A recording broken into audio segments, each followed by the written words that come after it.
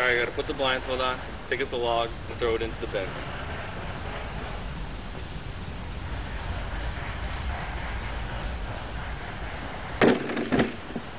Just like that.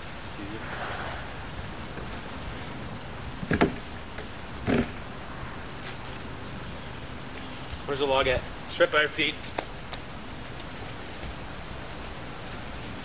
Can I just throw it?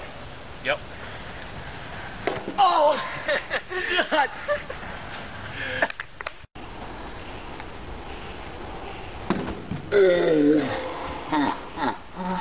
Oh.